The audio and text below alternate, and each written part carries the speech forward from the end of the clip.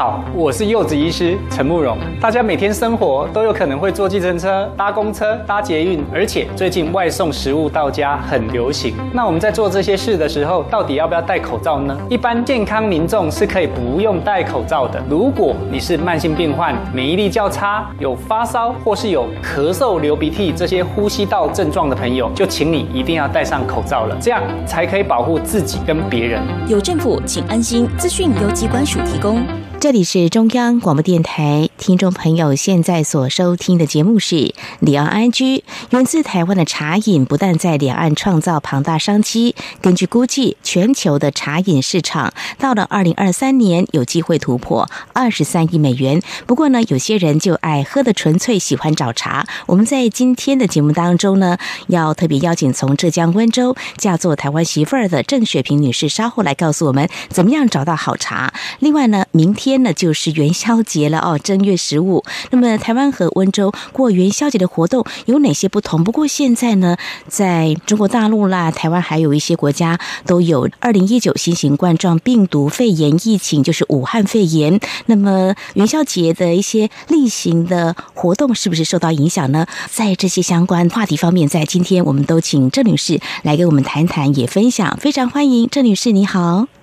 哎，你好，主持人好，大家好，我来自温州。好，非常欢迎郑女士哦。那不光只是在台湾哦，现在可以说是防疫大作战哦。在中国大陆，相信也是哦。那么疫情不断的传出，那么继武汉是一个重灾区之外哦，那么在台湾目前已经将中国大陆啊列为这个二级以上的防疫地区，而温州是第二个受到关注的疫情地区哦。那您的娘家就是在在温州哦，是不是可以来跟我们谈谈你所？知道的，你应该很关心家人，是不是把他们目前所面临的情况来告诉我们呢？是，呃，以我就是说，当然我们也跟家人有电话中的联系。其实，在温州，呃，家人他们是安全的，只是说，我说为什么我们会温州会列为第二重灾区，呃，管制的那么严格？其实家人跟我告知的状况就是说。当然，这个疫情的负面状况因素很多。为了自己的安全，他们希望就是说足不出户，外来的不让进来。我们要控制疫情，就会更安全些。这是基于家人跟我的说法这样子。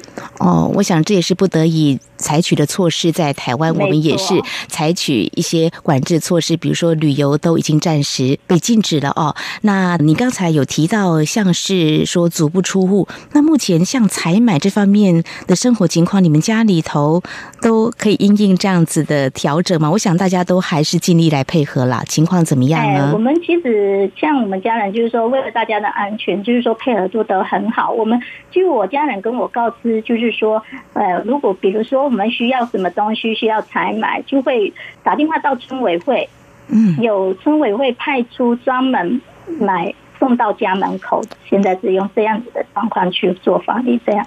哦，那交通有没有停运的情况呢？你家人有没有跟您谈到他们所知道的情况？就是像我们家人，也就是说，哥哥他们也都是在外地做生意的比较多，过年期间才回来嘛，对不对？就是原则上，他们就是说，一般元宵节过后都是就出去外地啊。可是今年。他们就是说，也是道路都封闭，也是没有办法出去这样子。哦，那听说中国大陆有一些地方企业是延后开工，大概是十号开始了哦。当然，可能企业也会考虑它的一些情况，会做出因应调整。像如果不出门的话，不到公共场所，在台湾像。政府也宣导，就是要戴口罩了，勤洗手哦。那像在台湾，我们现在买口罩，从之前大家大排长龙到药局啦、超商啦，现在是改为这个拿健保卡就可以到健保卡，对，到健保局的指定。啊，药房来购买哦，那一周呢，大概一个人可以购买两片哦。这是因应这个口罩产制没有那么快速达到大家的需求，希望大家能够按照政府的指示。那在你的娘家那边，你们有没有谈到这方面的情况啊？就是在防疫物资方面。还好吗？哎，物资方面就是比较没有谈到，因为都是哎不出门，当然就是说他们就是一直都说我只要我不出门，我不接触外人，我们就是安全的。啊，是是，我想这也是啊最好的防疫的做法。不过呢，大家的生活作息不免都会受到影响，所以在过年期间，你看在台湾，我发现就是在一些地方，大家也比较少出门，如果没有必要的话。但是目前温州市政府希望大家能够配合，嗯，大家尽量少出门哦。所以以往这种过年的这个习俗啦，互相拜年啊，或者说有些庆典节。庆的活动可能或多或少都会受到影响了哦。那接下来就请郑女士来告诉我们说，像温州如果一般过年，应该说元宵节了哦，这个上元节怎么过啊？就是因为我也来台湾二十几年了哈。那以前小时候我们的过年就是说元宵节就是会拿着灯笼去猜灯谜，还有就是会做那种木偶戏这样子啊。哦，木偶戏。对对对，但就是说每个，比如说我们以前小时候也是在村庄嘛，哈，而是后后来的发展的关系就一直在改变。比如说我就每个我们村里都有庙啊，就是在庙口哈啊，就是做着木偶戏啊，大家去猜灯谜这样子。哦，这个木偶戏跟台湾的布袋戏一样吗？你知道台湾不一样哦，不一样啊，不一样，对对对，雷有点雷同。哦，那木偶是也是人去，就是他是用拉九根线这样子。哦哦，好，听众朋友应该更清楚了哈，因为在台湾我比较少看到木偶戏，呃，这个布袋戏我小时候常看。哦，是布袋戏，我们就是也有，就是都大部分是木偶戏的会比较多。对哦，是好，就是提灯笼，台湾也会有，像有灯节哦，今年。或多或少受到一点点的影响了哈。那在温州也会有提着灯笼赏灯。那么除了这个之外呢？因为其实大家都说中国人嘛，就是过年到正月十五才算是这过年画上句点。除了提灯笼之外，还有其他的一些年俗吗？哎，就是近这十几年，就是说我哎几年前有回去过年嘛哈。啊，元宵节的呢，我们现在就是用整个正用。百家宴的方式，百家宴是指大家一起吃饭吗？就是说，比如说我们家人我要几桌，就是一桌多少钱？比如说，就是一个人头以人民币二十块，我们就是吃平安，大家就是在一个镇上大街。但全部都是在外面，有一点流水席的这样子的感觉，这样子也有一些的表演，这样庆元元宵节这样。哇，好热闹！好热闹，都是几千桌哦，好多的外地人，以前就是说很多的外地人都会来我们温州那边吃这个呃元宵团圆饭。据说啦，哈，说吃了我们这个平安堂团圆饭，都出门都会赚大钱。哇，所以大家参与度会很高了哦。哇，这也就是说一种，常说很多生意人就会从外地的。这一天赶来我们这边吃百家宴这样子，好热闹。所以就像台湾的外汇来煮吗？煮这个百家宴是是是，都是外汇来煮。哦，那是会一个家族一个家族，还是以区，比如说小区为单位这样子呢？哎，就是用订桌的方式，它是以你新定跟后定的人去排，就是说用桌号的方式这样子。对，那你还记得你曾经回家吃这个百家宴，最多桌数大概有？多少啊？最多桌数有一千两百多桌。哇，这好热闹！这场地要够大。哦，好几条街都全部都占满了，全部都是占满了桌子的人人潮这样子。哇，要一定要挤不进去，对，要走路走好远。哦，这个水泄不通要封街哈，才有办法办。那相对现在有些武汉疫情，因为要封城的关系是不一样的。那可是今年因为武汉肺炎疫情的影响，所以这个百家宴是不是就停办，还是说怎么样呢？在去年年底就有听家人讲，就所有的活动聚集都全部都停止了。那大家为了要取消的防疫，呃最高等级来做防疫，这也是不得已的。那么我们不得已的，就是说为了大家的安全，还是这样，我是觉得这样子是好的，因为就是说不明因素的人不让进来，这样子我们的防疫的工作也可以达到更高这样子。没有错，好，非常谢谢我们郑雪萍女士。那么你的娘家就在浙江温州，那么在今天节目特别邀请你来跟我们谈谈。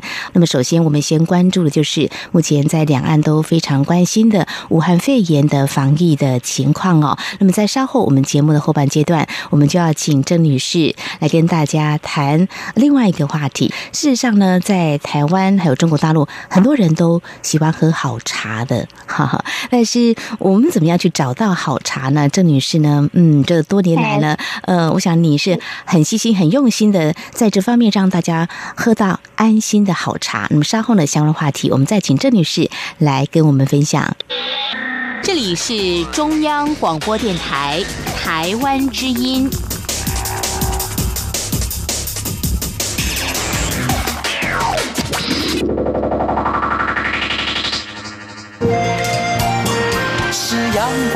光，北方打开了世界之窗，是阳光翅膀，环绕着地球飞翔。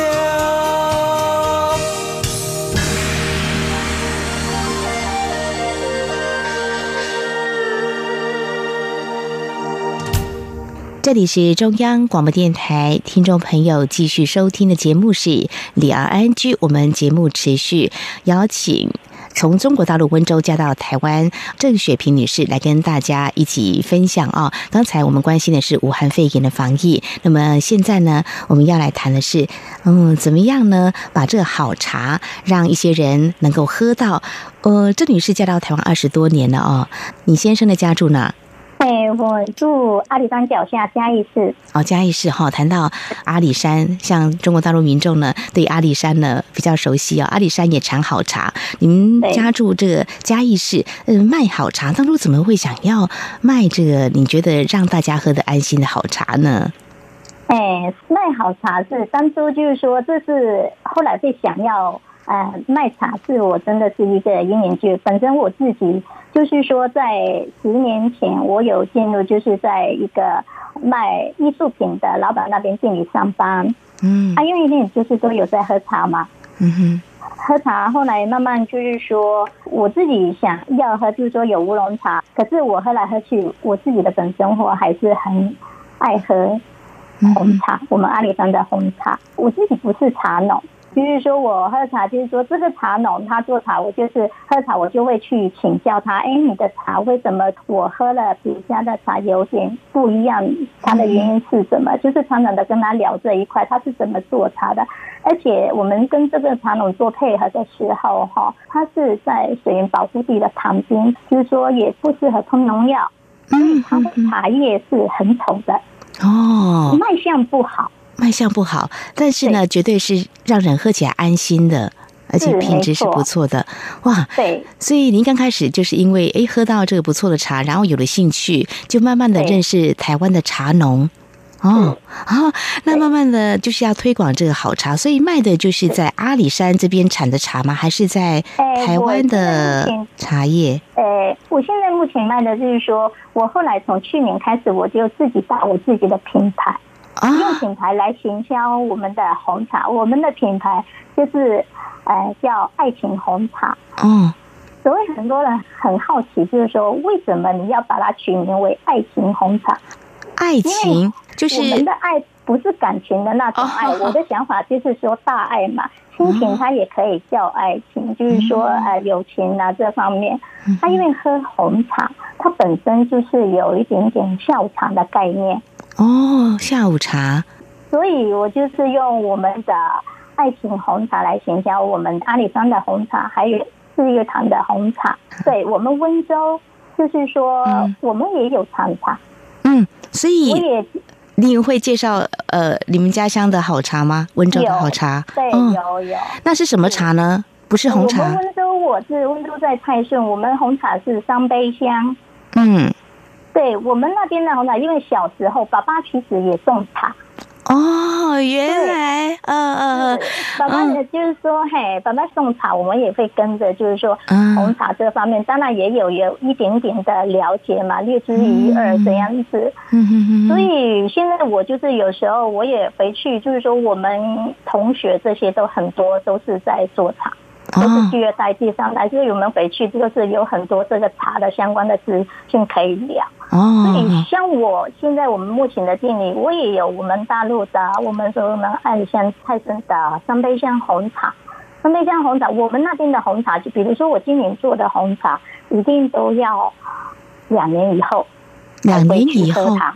嗯用时间去发酵，本身红茶就是全发酵，是是，所以跟台湾的这个制茶的功法是不太一样的吧？不这时间太一样，不太一样。对对，哦，呵呵，是。呃，那刚才其实你有提到，像在台湾的合作的这个茶农，他是不喷农药的，这个是安心，因为在台湾其实茶叶如果要喝的安心的话，最好都要经过检验嘛，就是不含有这个农药的残留嘛，哈没。错。那来自于你的家乡，就是娘家那边的话，这个部分我们把关的程度又是怎么样？怎么样来哎，做这方面也？是都是，就是说我们像门同学，他也是把关，就是他在那边就先做检验。这方面如果不检验的话，我们就是没有办法进来的。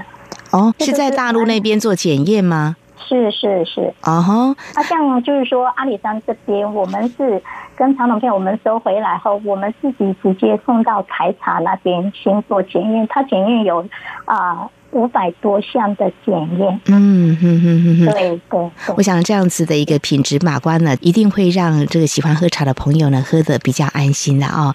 那茶的品质，我想在台湾还有中国大陆，您的娘家温州那边可能或多或少还是不一样，但是任君选择嘛哦。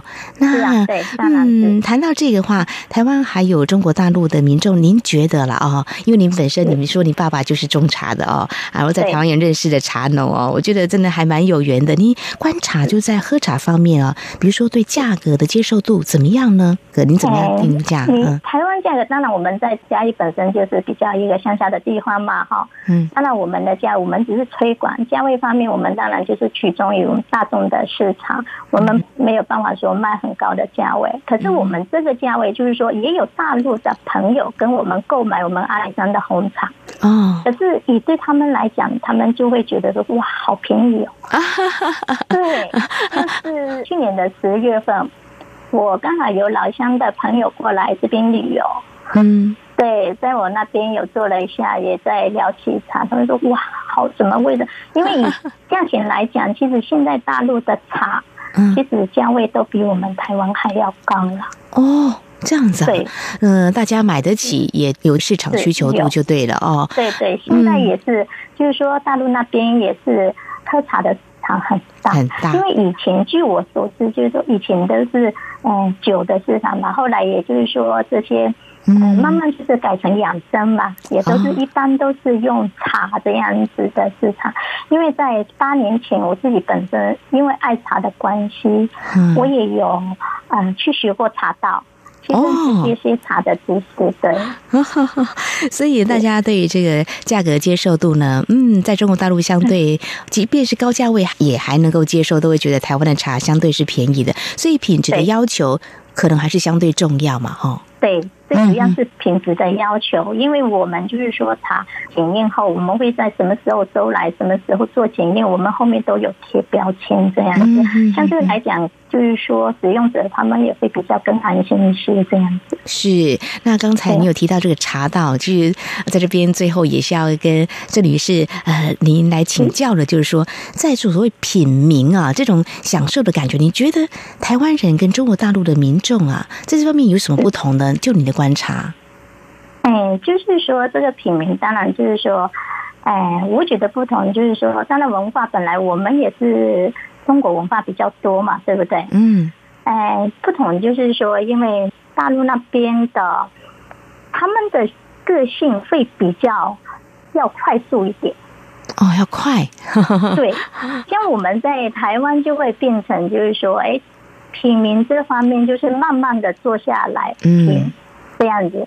坦白这几年，就是说有时候我也会去杭州啊，就是跟一些朋友做交流嘛，也是有谈到这一块。可是他们对品质性呢，就是说，当然他们的呃也是学习的很 OK 啦。啊。可是以我们来讲，他们就会比较快速一些，这是我的感觉。啊，这个速度快慢有别，在台湾反而是慢慢的享受这杯好茶，大家可以聊聊天，或许可以沉淀自己的情绪啊，呃，这些都是的。那么在中国大陆。相对是要求速度快一点哈，这个我想是可能不一样的环境，还有这种生活上的一个步调的关系吧。但是不管如何呢，在台湾还有中国大陆都有种茶，有好的茶的品质。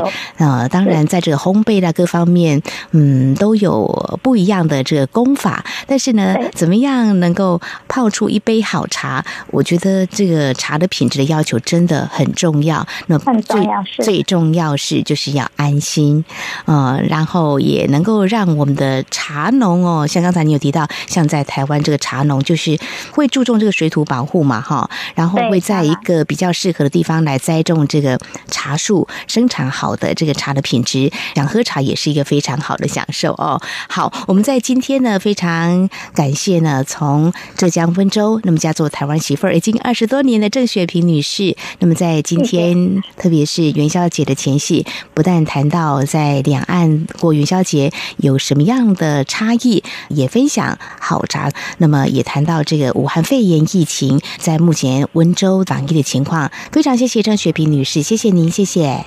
感谢，谢谢，谢谢主持人。